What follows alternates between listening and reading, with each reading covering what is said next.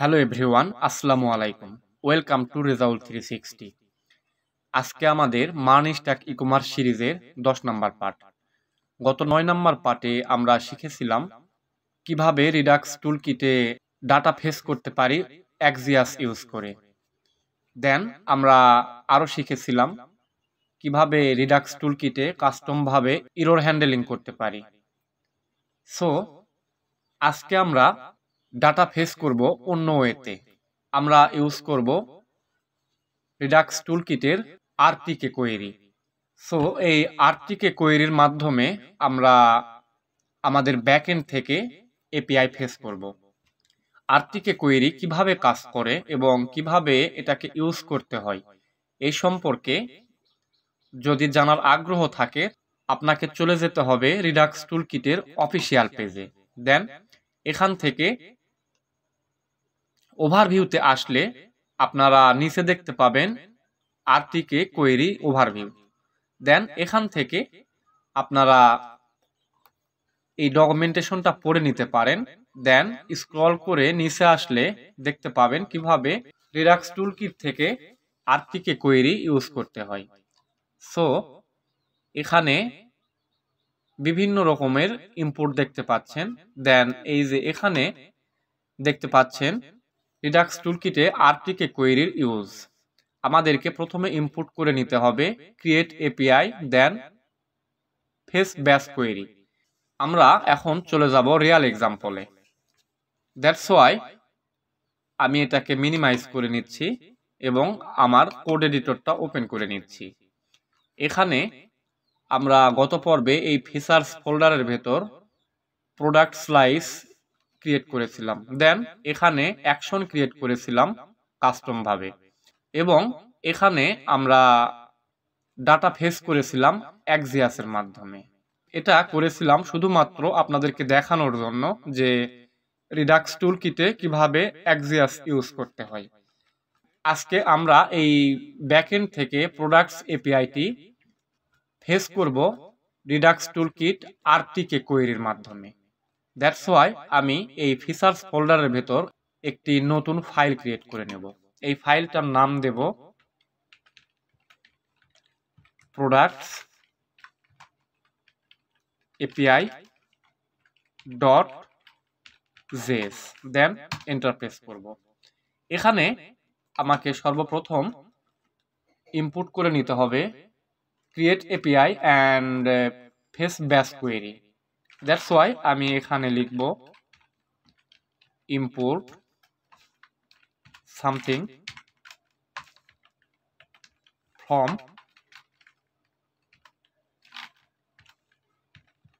redux toolkit slash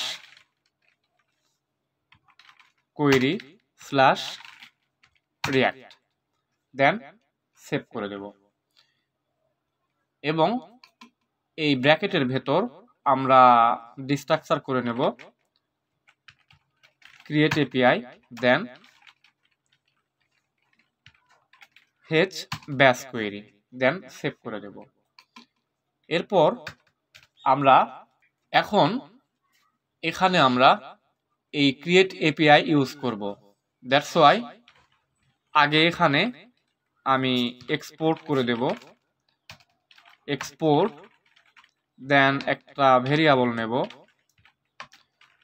এবং এখানে এই ভেরিয়েবলটার নাম দেব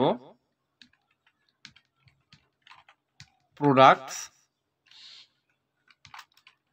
এপিআই দেন এখানে ক্রিয়েট এপিআই কল করব।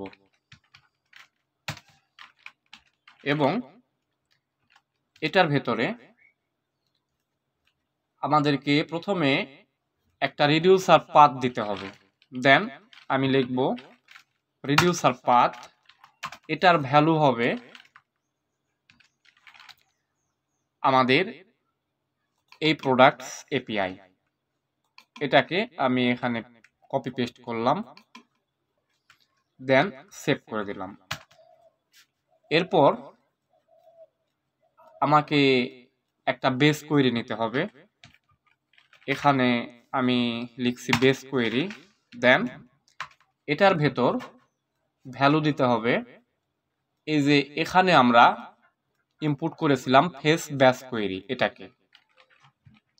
এখানে লিখলাম ফেস ব্যাস কোয়েরি এবং এটার ভেতরে আমাদেরকে একটা বেজ ইউআরএল দিয়ে দিতে হবে।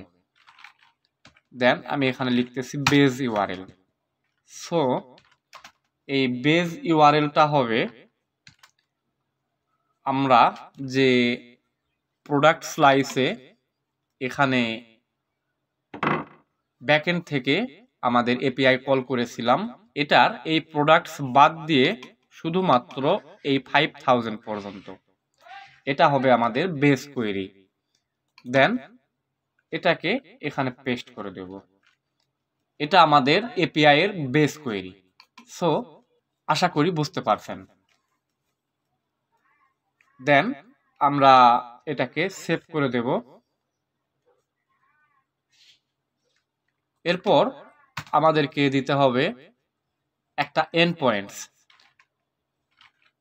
দ্যাটস ওয়াই আমি এখানে লিখব এন পয়েন্টস এই এন পয়েন্টসের ভ্যালু হবে একটা অ্যারো ফাংশন এবং এখানে আমরা একটা প্যারামিটার দেব। এটার নাম দেব বিল্ডার। দেন এখানে আমি অ্যারো ফাংশনটা বানিয়ে নিচ্ছি। দেন এখানে আমরা একটি ব্র্যাকেট ইউজ করব। দেন এটার ভেতরে প্রথমে আমাদেরকে এই বিল্ডারের একটা নাম দিতে হবে। সো আমি এটার নাম দিচ্ছি গেট অল প্রোডাক্টস দেন এটার ভ্যালু হবে বিল্ডার ডট কোয়েরি দেন এই কোয়েরির ভেতর আমাদেরকে দিয়ে দিতে হবে প্রথমে যেটা, সেটা হচ্ছে কোয়েরি দেন এটার ভ্যালু হবে একটা এমটি ফাংশন দেন এখানে আমরা রিটার্ন করে দেব।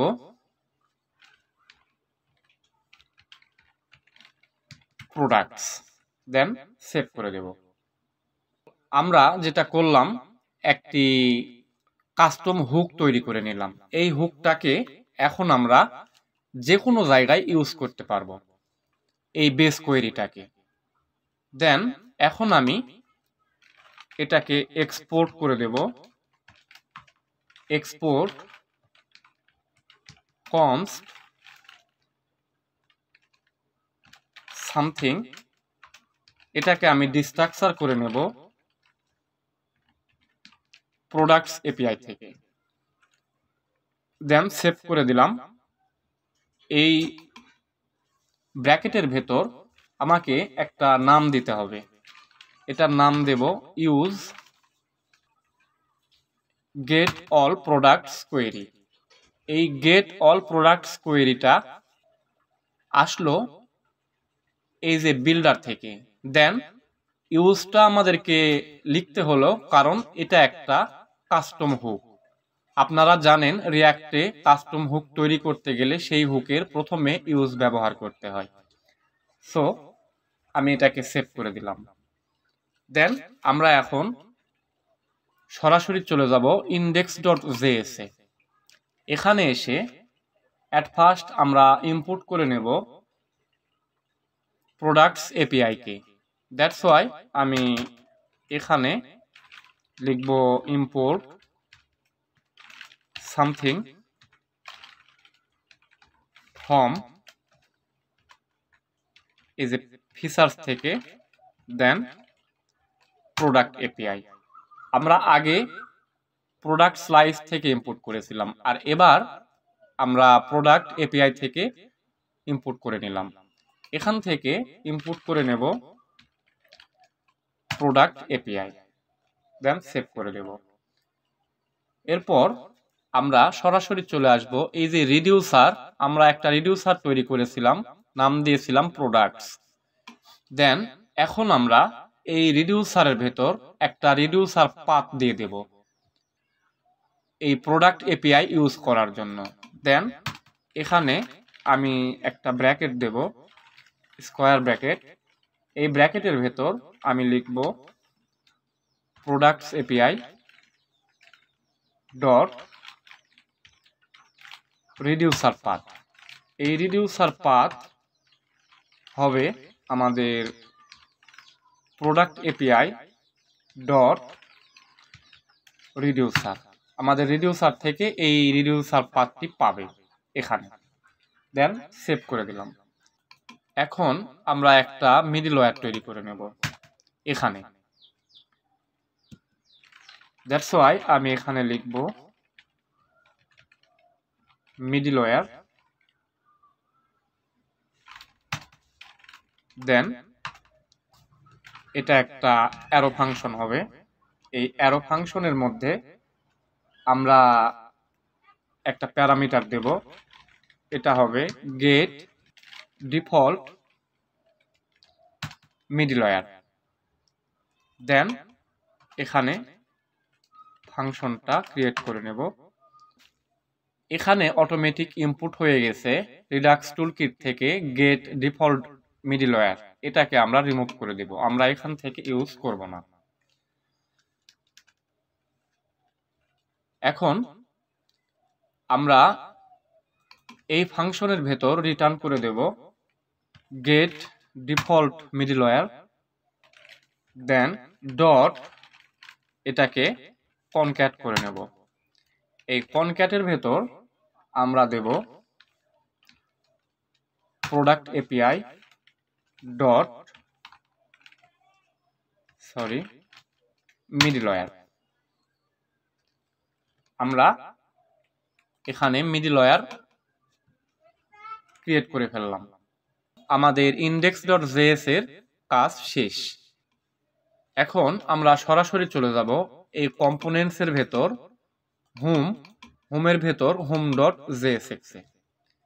যেটা আমাদের অ্যাপ্লিকেশনের হোম পেজ এখানে আমরা বেসিক একটা ডিপ রিটার্ন করেছিলাম এবং এখানে একটা এইচ ওয়ানের ভেতর লিখেছিলাম হোম সো এটার সব থেকে উপরে চলে যাব।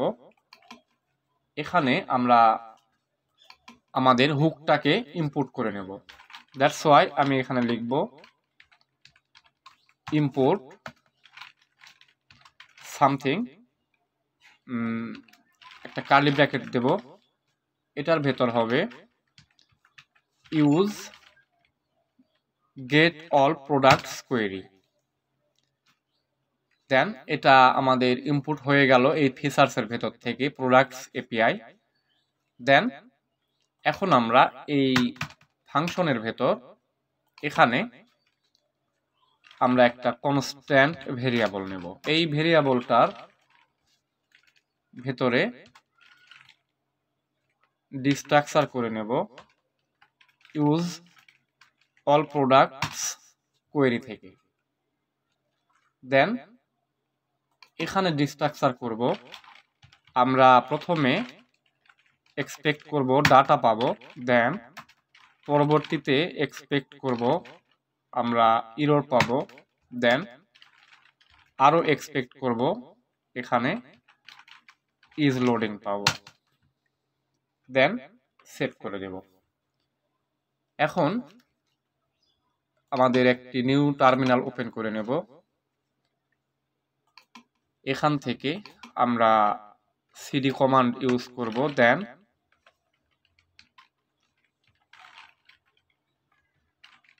ফ্রন্টেন্ড এই ফ্রন্টেন্ডের ভেতর থেকে এখন আমরা আমাদের অ্যাপ্লিকেশনকে স্টার্ট করব।